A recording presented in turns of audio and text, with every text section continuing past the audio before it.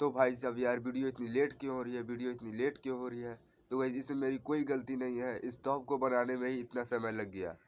और भाई आप इस टॉप को सही तरीके से देख लीजिए।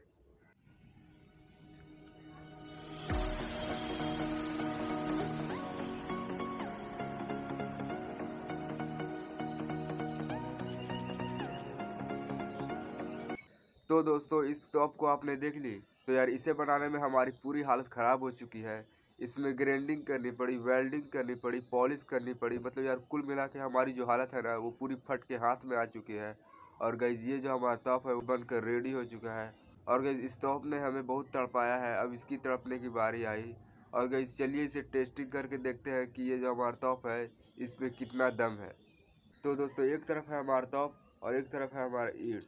और देखेंगे कि ये जो हमारा टॉप है, इस ईट को तोड़ पाएगा कि नहीं तोड़ पाएगा। तो गई इस ईट को हम साइड में ही रख देते हैं। तो दोस्तों, इस टॉप के अंदर डालने वाले हैं हम सुतली बॉम्ब तो ये रहा हमारा सुतली बॉम्ब ये हमारा सुतली बॉम्ब इसके अंदर का जो मटेरियल होता है, हम इस टॉप के अंदर डालने वाले हैं। और इस टॉप को हम अंदर में मतलब पूरा भर लगे। और ये जो हमारा कांचा है, और इस सुतली बॉम्ब का पूरा मटेरियल इसके अंदर डाल लगे। तब इस कांचे को हम इसके अंदर डालेंगे। तो भाई इस कांचे से हमने बचपन में बहुत खेला था और शायद आपने भी खेला होगा इस कांचे से। तो इसके अंदर हम डालने वाले तोप के अंदर और गैस देखेंगे कि जो हमारा ईट था वो टूट पाएगा कि नहीं टूट पाएगा। तो गैस चलिए हम इसके अंदर का पूरा मटेरियल इस तोप के अंदर डाल लेते हैं।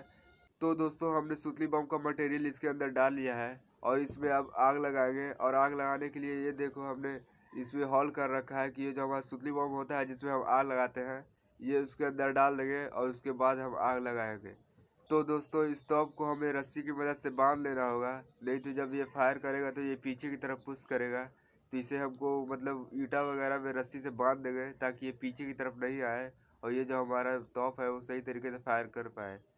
तो चलिए अब देखते हैं वीडियो में कि ये जो हमारा तोप है, वो ईट को तोड़ पाएगा कि नहीं तोड़ पाएगा।